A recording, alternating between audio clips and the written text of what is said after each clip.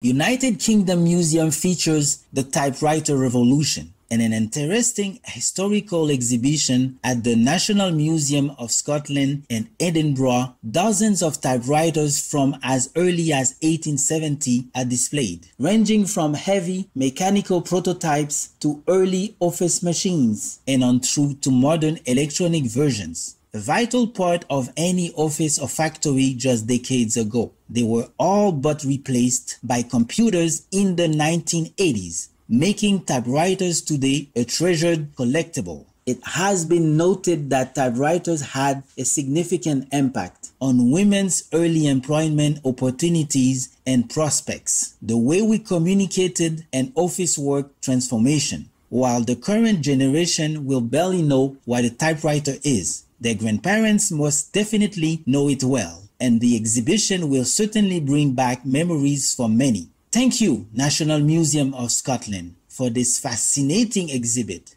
May societies continue moving forward technologically while valuing wisdom and respect in the love of the divine.